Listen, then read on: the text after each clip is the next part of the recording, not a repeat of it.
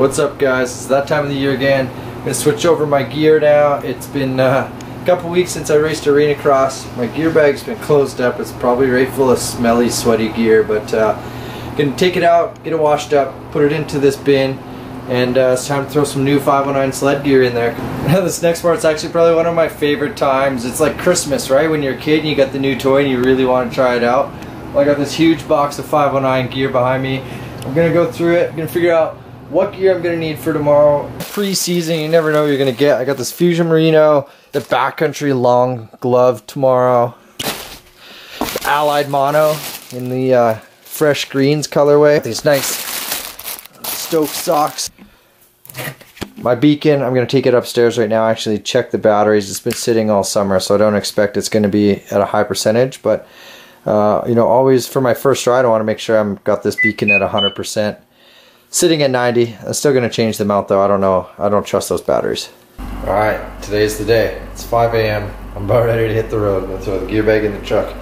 One thing missing though is I don't have a snowmobile. I made my way to Golden once again.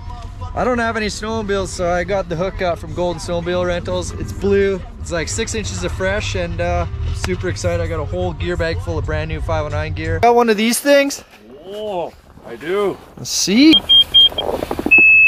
Says I'm in you.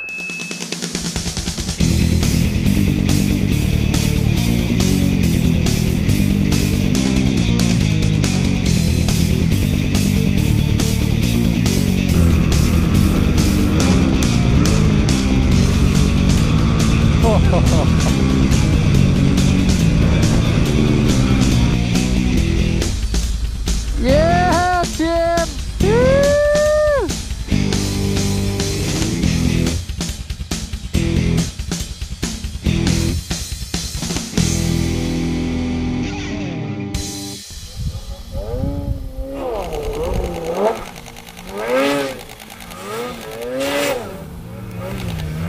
Yeah, day one in the books. It was sick. For November riding, that was definitely the best first ride I've ever had. And the snow is so dry and deep in pockets and didn't hit anything, didn't wreck anything. My gear's holding up, so it's uphill from here, man. Winter's game on.